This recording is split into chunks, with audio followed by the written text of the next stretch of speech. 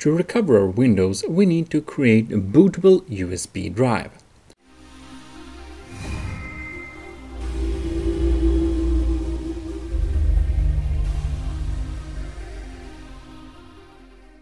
Get a USB drive that's larger than 8 gigabytes and remove all the data from it because everything will be wiped when we install the bootable drive.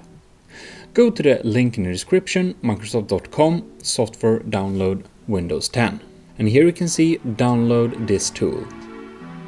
Click on that. Media creation tool. Run the installer. Agree to the terms. Select create installation media, USB flash drive, DVD or ISO.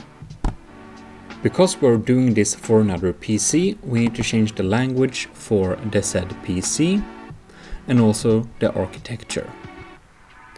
So we're gonna take English United States edition Windows 10 and it's a 64-bit system.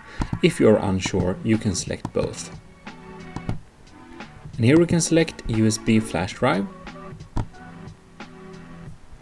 and here I have my flash drive and uh, make sure it's the correct flash drive and that you have backed up the files on it if you want to save any file on that drive. And now you just wait for the progress to complete. The USB boot drive is now ready. You can click finish. Alright, now we can remove it and put it into the computer we want to fix.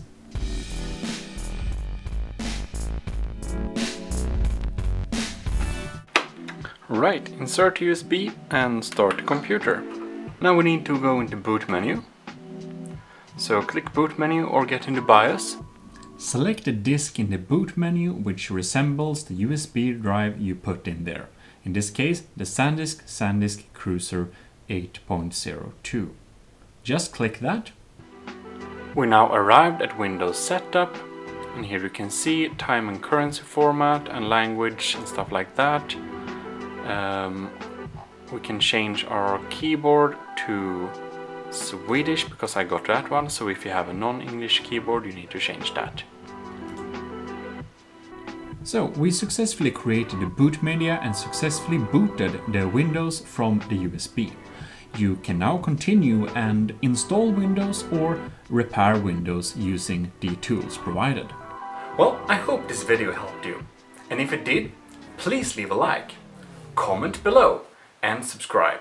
I'll see you next time. This is your host, Gmodism, signing out.